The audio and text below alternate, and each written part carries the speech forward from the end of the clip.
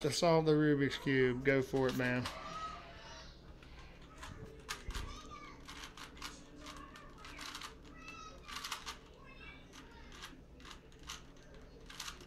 The timer's going video.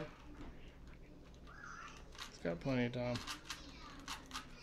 18 seconds in.